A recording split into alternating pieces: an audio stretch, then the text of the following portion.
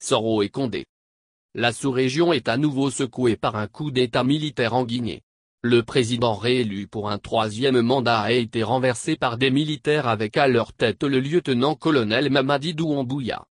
Si pour leur Abidjan n'a pas officiellement réagi à cette situation, après sa déclaration en parabole hier, Guillaume Soro s'est exprimé depuis la France où il vit en exil depuis plus de deux ans. L'ancien chef de la rébellion qui avait tenté de renverser Laurent Gbagbo en septembre 2002 affirme être triste pour le désormais ex-président guinéen. Chères Africaines, chers Africains, je romps mon silence volontaire face à la grave situation qui accourt sur la terre africaine de Guinée. Je souhaite que ce soit les derniers soubresauts d'une Guinée qui renoue avec la paix et la tranquillité. Que la sagesse africaine au service des peuples triomphe pour le bien-être du peuple guinéen.